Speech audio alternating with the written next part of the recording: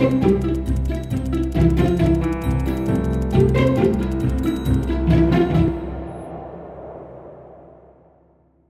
name is Chris Gardner. I am a research scientist at the Byrd Polar and Climate Research Center and the School of Earth Sciences at The Ohio State University. And I'm a geochemist working in Antarctica. I always liked science, but I mostly liked camping. we always joke that it's really cold science camp for adults. We're interested in the amount of iron entering the Southern Ocean from meltwater streams in ice free parts of the continent. I want to show that measuring the chemistry of iron in a stream is related to climate change. And the Southern Ocean has a very low concentration of iron.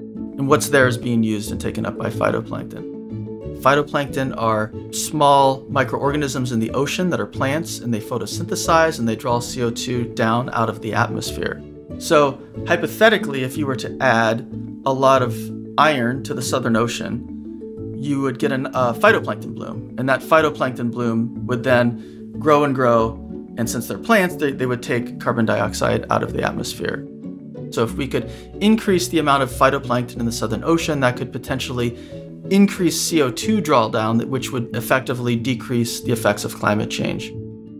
So in order to understand how much iron is actually entering the ocean, you need to not only know the concentration of iron or the amount of iron in the water, you need to know how much water is traveling through the stream and entering the ocean. And we think that maybe with climate change, as we get more glacial melt, stream flow will also increase.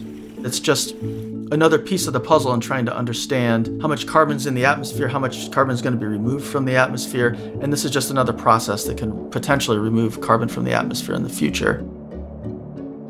So here we are in the middle of Antarctica, in the dry valleys, like the super dusty place, super windy place. We're trying to measure iron, very low levels of iron that can easily be contaminated by that dust in this environment without getting them contaminated.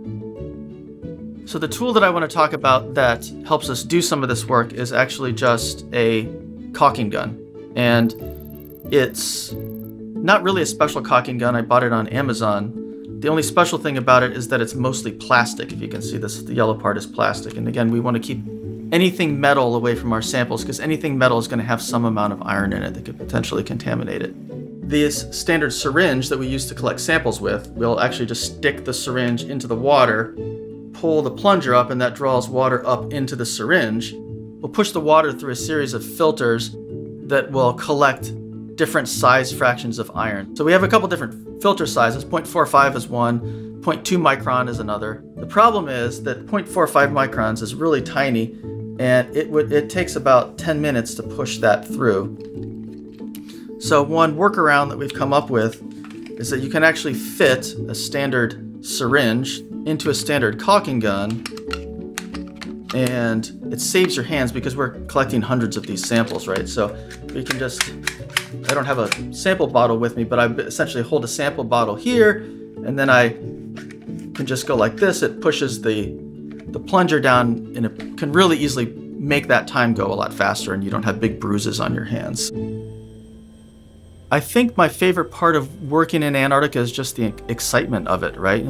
you take this plane ride and then you get out and you're open the doors and like that cold brisk air hits your face and it's super dry and it's super bright and it's just like a big shock to the system and we're you know alone in the, this desolate, beautiful place.